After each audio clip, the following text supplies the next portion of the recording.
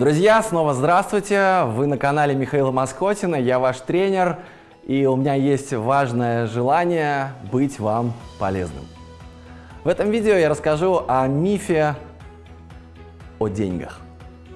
Вы знаете, а, в этом мире огромное количество мифов, и деньги это не исключение, это тот предмет, о котором люди складывают различные мифы. Это предмет, а, которым люди вожделеют, это предмет, э, который является э, э, яблоком раздора, о, чем спорят, обсуждают. Я предложу свою точку зрения. В одном из видео, вы можете по ссылке пройти на это видео, мы рассказывали о том, я рассказывал о том, что есть четыре источника денег. А сегодня мы снова вернулись к теме денег. Это мифы. Давайте э, поговорим для начала, что такое миф. Я специально подготовил слайд, где у меня написано «Миф Внимание! Это система управления свободной волей и разумом человека. Если у вас в голове есть миф, то этот миф, он управляет вашей волей и вашим разумом. Миф – это предмет порабощения сознания и контролирующий алгоритм. Мифы порождают сознание. Мифы контролируют ваш мозг и вашу жизнь. Давайте поговорим о тех мифах, которые существуют э, в сфере денег. Есть три мифа, э, которые я бы хотел сегодня выделить, о которых я хотел бы сегодня поговорить. И миф первый – это одушевление денег.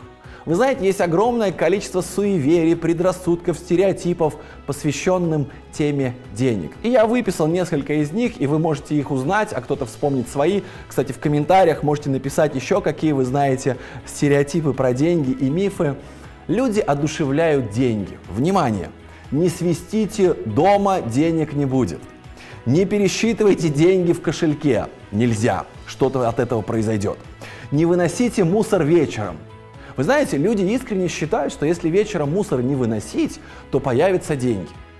Знаете, мне кажется, если вечером мусор не выносить, то появится запах, а может быть и мухи. Но люди верят, что появятся деньги. Не давай вечером взаймы деньги и соль. Ну, соль, понятно, когда-то соль была дороже денег, и специи были дороже денег, поэтому люди э, деньги и соль не давали, ну, причем вечером, не знаю почему. Это какой-то миф, который давно появился, я не искал откуда, если интересно, поищите. Не класть деньги на стол. Вы, наверное, видели, когда люди боятся класть деньги на стол, они их передают из рук в руки, потому что боятся, что деньги исчезнут. Не мести в квартире разными вениками. Вот это очень веселая вещь. Я много летаю по регионам, и люди смеются и говорят, да, мы так и делаем. А еще некоторые берут веник, переворачивают его вниз головой, ставят в угол и считают, что от этого у них появятся деньги. А еще не смахивай крошки со стола рукой. Не оставляй кошелек пустым. Если в кошельке нет ни одной купюры, деньги это увидят, расстроятся и не придут больше. Поэтому, чтобы хотя бы одна купюра была в кошельке обязательно. Люди одушевляют деньги, они считают, что деньги, они живые. Не оставляй кошелек пустым, не считай деньги вечером. Не держать вместе деньги разные валюты. Это на а, один вебинар я смотрел, в интернете наткнулся на интересный вебинар. Кто хочет денег, посмотрите. Я зарегистрировался, стал смотреть. И главная мысль, которую я вынес оттуда, была такая. Деньги разных государств нельзя держать в одном кошельке вместе. Я был в шоке, когда это услышал. Я, ну, мне было интересно, почему. Я в чате написал, и ответ был такой. Они будут конфликтовать. Я не знаю, что в голове у автора этого вебинара, но, видимо, он думает, что что там произойдет. Если российские рубли положить вместе с американскими долларами или европейскими евро, что, у рублей комплекс неполноценности разовьется? Что, они покраснеют, они психанут и уйдут от тебя? Что произойдет? Ребят, вы понимаете, это просто бумага, напечатанная в разных государствах, разной типографской краской, с разной степенью защиты, но люди одушевляют деньги. Как встретишь Новый год, так его и проведешь. Да, это тоже один из наших предрассудков, стереотипов. А, люди считают, что очень важно перед Новым годом раздать долги. Да, действительно, их нужно раздавать, но только не обязательно перед Новым годом. Их просто неплохо было бы отдавать.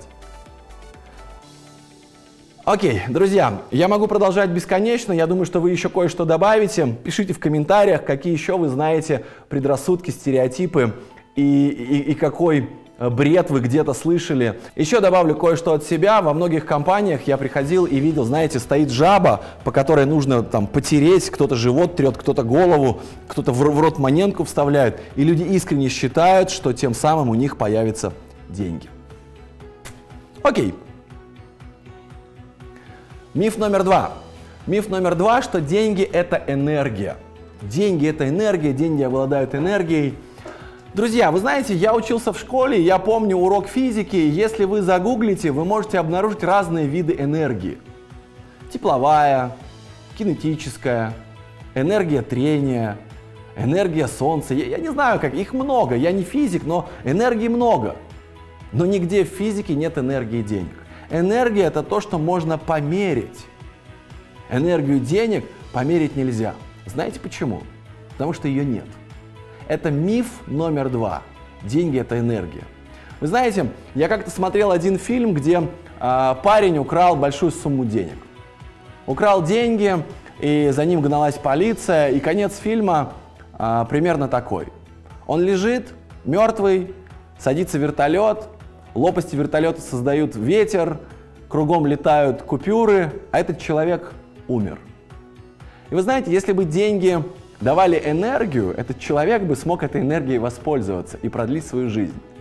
Но у него просто не было еды, у него не было воды, это была пустыня, и он умер, потому что у него закончилась энергия. У него были деньги, но энергия денег не смогла продлить его жизнь, потому что нет никакой энергии денег. Это миф номер два.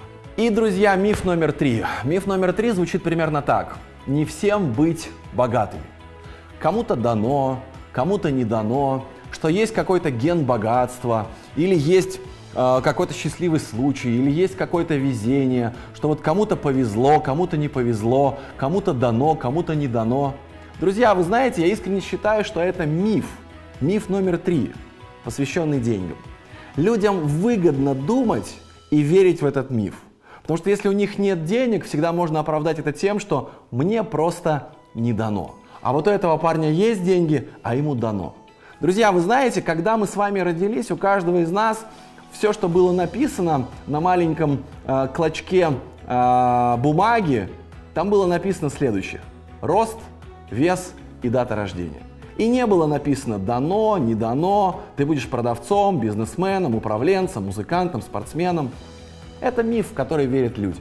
Потому что если эти мифы развеять, если деньги это не энергия, если деньги они неодушевленные, и если дано всем в этот момент, человек, у которого нет денег, он чувствует разочарование.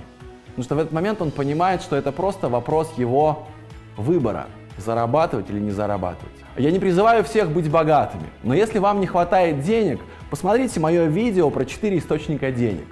Посмотрите его еще раз, если вы его уже смотрели. Чтобы были деньги, необходимо одна простая вещь. Необходимо научиться продавать. Продавать много, профессионально и качественно. И тогда у любого из вас будут деньги. Всем хорошего дня, пишите комментарии под этим видео, ставьте лайки, если вам понравилось это видео, нажимайте колокольчик, потому что в этом году будет еще много полезного видео для вас. А если вы нажмете колокольчик, вы получите уведомления. Желаю всем хорошего дня, зарабатывайте деньги, не верьте в мифы, потому что мифы управляют вашим сознанием и вашей жизнью. Будьте свободными, делайте свой осознанный выбор. Всегда ваш тренер Михаил Маскотин. До новых встреч, пока!